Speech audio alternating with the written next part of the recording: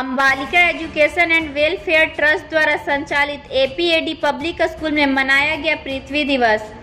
खरौंदी प्रखंड से चंदेश कुमार पटेल की report.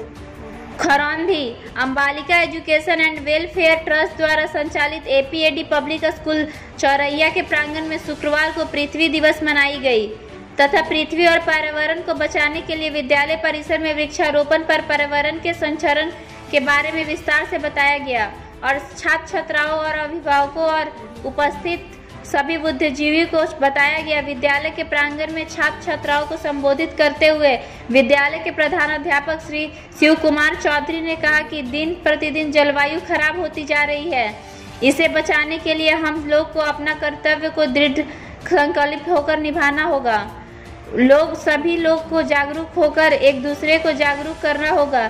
जंगल को बचाना होगा वनजीवी को बचाना होगा।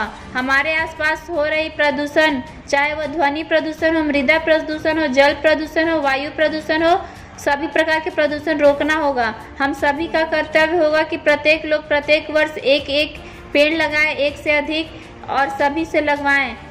इस वृक्ष को अपना पुत्र मानकर तथा उनका नाम रखकर उस समय समय पर पानी और उर्वरक देंगे। इस प्रकार प्रदूषण ग्लोब वार्मिंग, पानी की कमी और अन्य बहुत सारे संकटों से बचा जा सकता है।